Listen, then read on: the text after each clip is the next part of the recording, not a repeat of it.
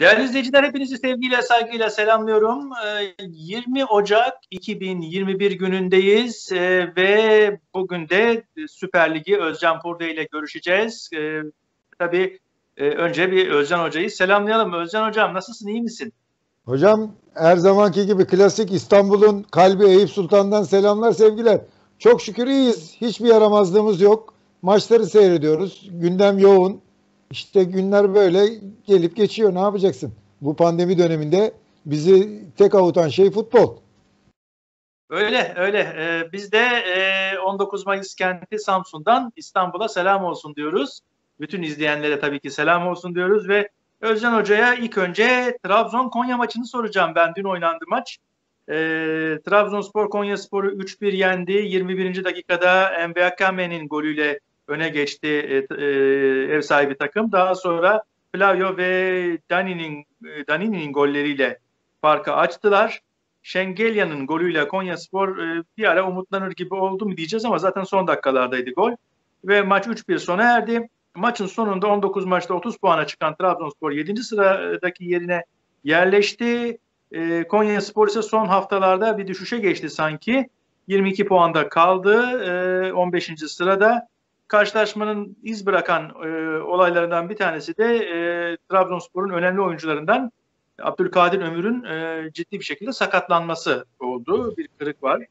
E, ben kısaca böyle özetledim. Hocam sen ne gördün e, Trabzon-Konya maçında? Hocam Trabzonspor'daki istikrarlı çıkış devam ediyor. Galatasaray mağlubiyetinin dışında Abdullah Avcı geldikten sonra sağdan hiçbir maçta mağlup ayrılmadılar. Affedersiniz. E, maça tabii damgasını vuran iki tane olay oldu. Bunların başında Konya Spor kalecisi maçın başında ısınırken Seyic ki çok önemli bir kaleci. Yedeği gerçekten maçın içerisinde onu arattı. Seyic'in sakatlanması bir de maçın içerisinde çok talihsiz bir olay yaşandı. Abdülkadir Ömür gibi Trabzonspor'un en formda oyuncularından birinin e, bir ikili mücadelede e, ayağının kırılması gerçekten çok büyük talihsizlik oldu. Yani Abdülkadir Ömür'e buradan geçmiş olsun diliyorum. E, yani Avrupa'ya adım atacak sezonlardan birini yaşayabilirdi sezon sonuna kadar. Çünkü e, 21 yaşında bütün Avrupa kulüpleri takip ediyor. Belirli bir yeteneği de var. E, biraz fizikman e, koşularını, e, fiziki mücadelelerini geliştirdiği zaman Avrupa futboluna da ayak uyduracak mantaliteye, oyun zekasına sahip bir oyuncu e, sakatlanması Trabzonspor adına ve Türk futbolu adına çok büyük talihsizlik oldu. E, ama futbolda bunlar var hocam. Yani oluyor. E, bundan evvel onlarca oyuncu çeşitli çeşitli sakatlıklar yaşadı ve daha güçlü döndüler.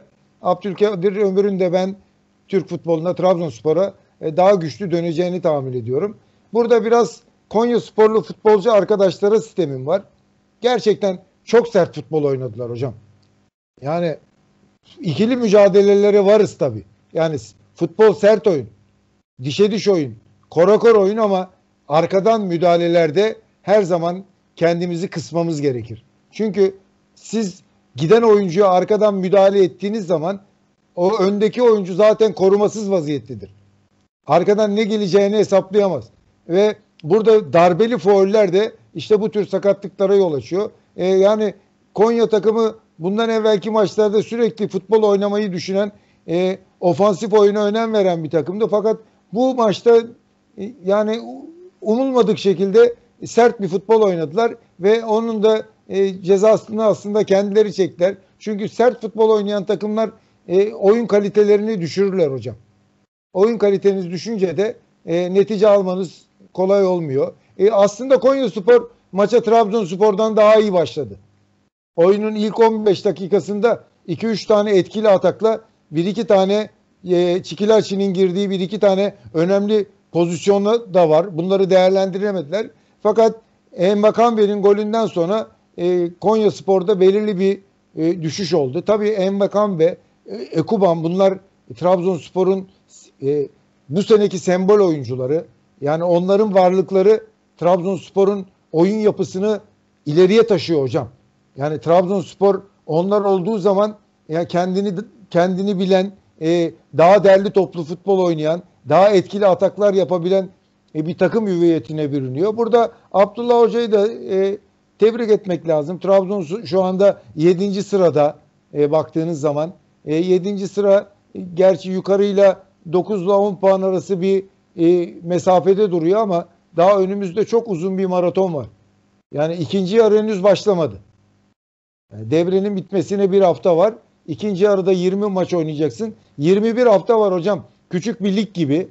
Yani Trabzonspor bu istikrarını devam ettirirse hiç ummadığı yerlerde e, kendini görebilir. E, tabii çünkü yani her takım aynı formu devam ettiremiyor. Şimdi bazı takımlar üst üste maçlar kazanıyor ama e, birkaç hafta içerisinde o takımın göstereceği düşüş arkadaki takımları ümitlendiriyor. E, Trabzonspor'da yukarıki takımların yapacağı hataları e, değerlendirip kendine üst sıralarda yer bulabilir diye düşünüyorum hocam. Hocam e, cumartesi günü Gençler Birliği Trabzon maçı var. E, izlediğin Trabzon bu Ankara'dan 3 puanla döner mi? Ne dersin? Ya hocam şimdi yani ben her zaman söylüyorum futbolda e, maç öncesi tahminler kolay değil. Şimdi Gençler Birliği takımını da seyrettim ben bu hafta Göztepe'ye karşı. E, berbat bir oyun oynadılar ve e, çok dar kadroları var. Ve şu anda da takviye de yapamadılar kadrolarına. E, bazı her zaman her hafta aynı şeyleri de tekrarlıyoruz. Bazı oyuncular sakatlıktan dolayı da takıma dönemedi. Gençler Birliği çok zayıf bir görüntü sergiledi ama yani Ankara deplasmanı her zaman zordur hocam. Ankara'da futbol oynamak çok zor. Oradaki havasından, suyundan diyelim. Yani oraya giden takımlar her zaman belirli bir zorluk yaşarlar. E, orada birinci golü atana kadar e, her gidecek takımın e, işi zorlaşıyor. O golü bulduktan sonra rakibin vereceği reaksiyona göre de oyun şekilleniyor. E, Ankara deplasmanları zordur. Trabzonspor bir çıkışta. Gençler Birliği kötü durumda ama futbol bu. E, üç neticeye de açık her zaman. Evet. E, Pazar günü de Konya Spor e, Antalya Spor'la oynayacak. E, Antalya Spor son haftalarda fena gitmiyor. Toparladı epeyce. E, o maçta 3 ihtimali bir maç olur mu acaba? E, bir fikrin var mı? Hocam ben Konya Spor'u geçen hafta da uyardım. Tekrar uyarıyorum. Konya Spor kendini ligin en rahat takımlarından birisi olarak görüyor. Topladığı puanlardan da tahmin ediyorum 22 puanı olması lazım. Evet. Ve, yani 22 puan ama at, aşağıda geçen hafta söylediğimiz gibi Kayseri Spor bir çıkışa geçti. Kayseri Spor'un kadrosu iyi. Yeni antrenörü de geldi. E, Petrusko takımın yani bu hafta Başakşehir maçında gördük. Gerçekten e, geçen senenin şampiyonuna karşı çok etkili futbol oynadılar. E, başa baş koro koro öyle hani ben Başakşehir benden güçlü ben savunma yapayım. Kontratakla rakibi cezalandırayım oyunu oynamadılar hocam. Birebir koro kor mücadele ettiler. O da kaçırdı. O da kaçırdı. Fakat e, Kayseri Spor pozisyonları değerlendirince sağdan 2-0 galip ayrıldı. İşte Kayseri Spor da aşağıdan geliyor. Aşağıdan Erzurum Spor mesela hocam Erzurum Spor 4-5 tane birincilik tecrübesine sahip oyuncu transfer etti. Da Costa'yı aldı. Eski Trabzonsporlu. Çok önemli oyuncu. Yani Erzurum Spor da kadrosunu toparladı. Bu lig Konya Spor'u ben uyarı yani bu lig gevşemeye gelmez hocam. Bir anda kendini en aşağıda bulursun. Onun için yani Konya Antalya maçı da her şeye açık bir maç hocam. Peki e, bugünkü maça gelelim. E, Galatasaray Denizli Spor'u e, adeta bozguna uğrattı. E, ligin dibindeki Denizli Spor e, yaralı aslan Galatasaray'ı Galatasaray karşısında tutunamadı tabii. E, Galatasaray maçını değerlendirmeden önce ben e, şöyle bir izlenim edindim hocam. Ne diyorsun?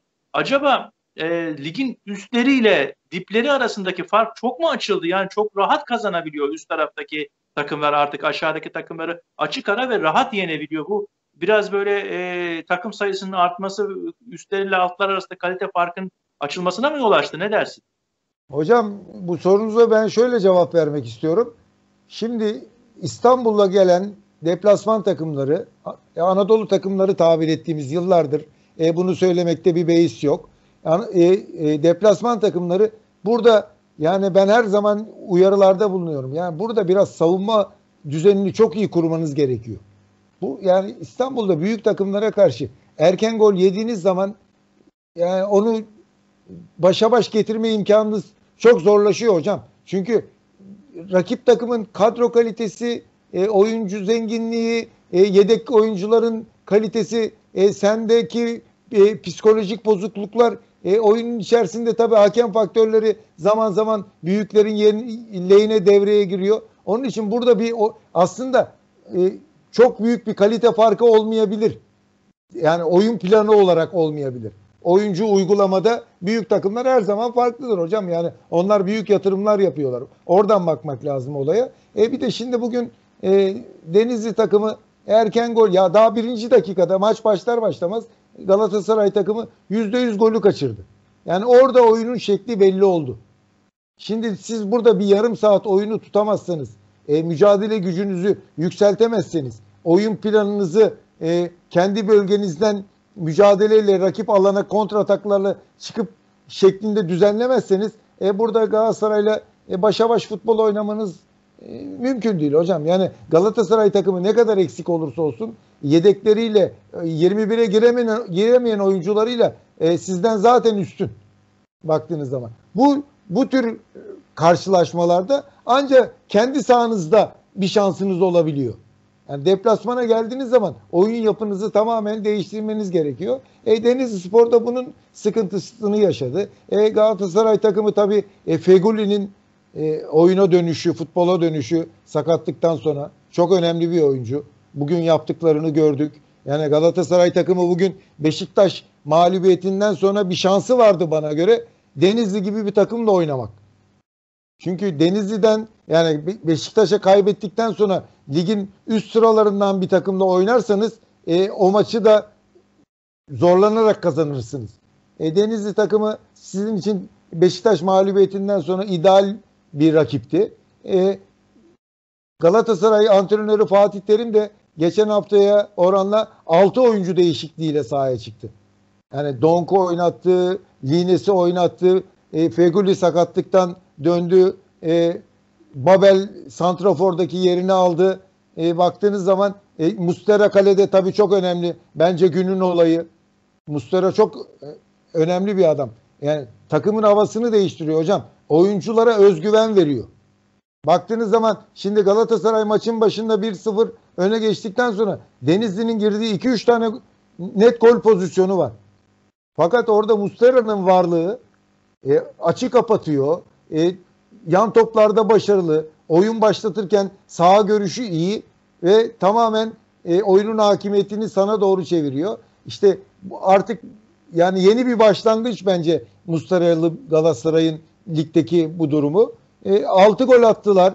E, iki hafta evvel de e, 6-0'lık bir galibiyet almışlardı Gençler Birliği'ne karşı kendi sahalarında. E, şimdi Galatasaray takımı böyle 1-2-0 öne geçtiği zaman hocam rakibine acımıyor. Öyle bir mantalitesi var.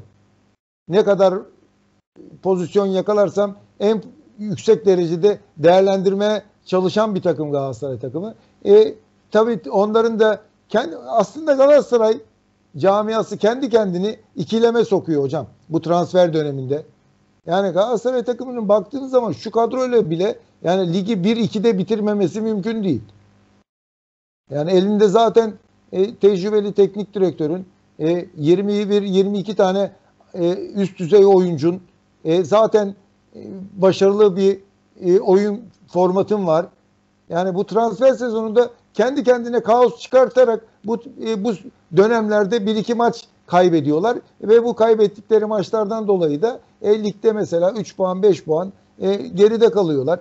E, bir de yani de, Denizli'nin savunma zaafı çok yüksek seviyedeydi. İyi bir kalecileri var aslında. Pantelimon iyi bir kaleci ama e, savunmanın göbeğinde oynayan e, oyuncular Muhammed olsun çok acemi oyuncular.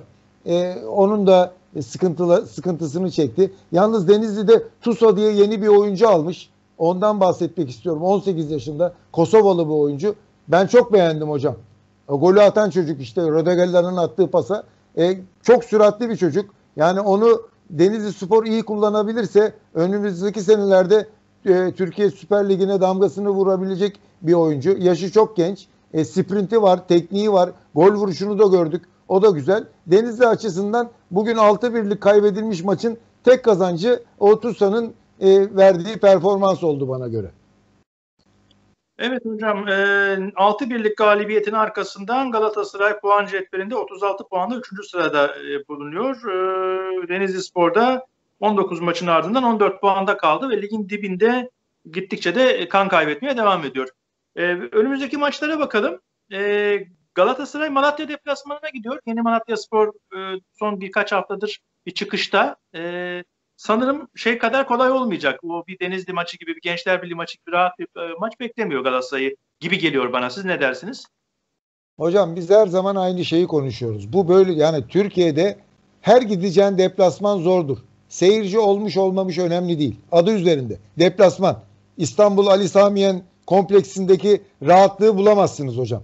Orada yani her zaman sıkı bir rakiple karşılaşırsınız. Malatya'da ne kadar sıkı bir rakip olduğunu bundan bir hafta evvel kupa maçında 120 dakikaya giden bir oyunda son dakikada yedikleri talihsiz bir golle penaltılarla elendiler.